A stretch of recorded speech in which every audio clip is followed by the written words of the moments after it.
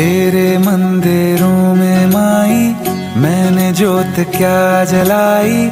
हो गया मेरे घर में उजाला। क्या बताऊँ तेरी माया, जब कभी मैं लड़ खड़ाया, तूने दस भुजाओं से संभाला।